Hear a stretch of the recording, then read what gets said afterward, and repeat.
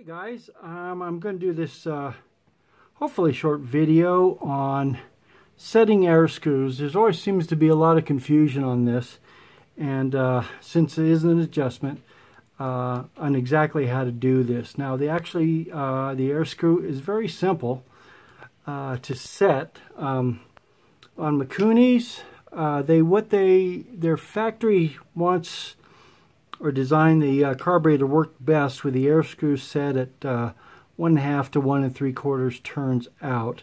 And that's basically from just a uh, screw it in lightly and then, you know, one and a half to one and three quarters out. So, um, when you're when you're do, testing your pilot jet and your air screw, it's really simple. Uh, get your motor warm, and then one at a time, just start screwing your air screw in and out until you get the highest idle on that one cylinder.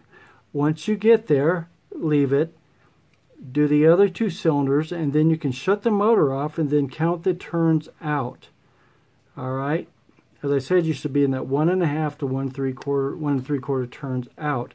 Now, if it's screwed in uh, less than one and a half, that means it's trying to get more fuel through the carburetor.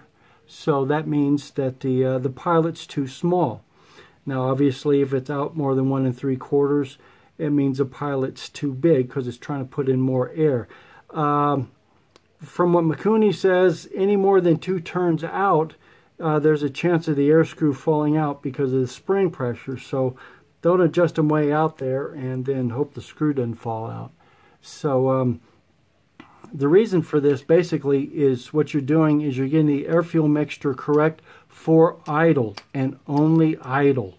Uh, that's where your your best mixture ratio is once you get the highest idle. That's where it's right for that motor. So once you get this done and get your pilots in the size range you need to where you're in that one and a half, one and three quarters turns out, then leave the air screw alone. Your pilot air screw system is just for idle, your closed throttle.